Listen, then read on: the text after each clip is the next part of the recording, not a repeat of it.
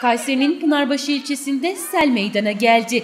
İlçeye bağlı Gültepe köyünde yaşanan sel köyde ulaşımı imkansız hale getirdi. Sel suları duvarları yıkarak taştı. Köyde şu ana kadar can ve mal kaybı yaşanmadığı belirtildi. Yaşanan selin yoğun yağışlardan kaynaklandığı ifade edildi.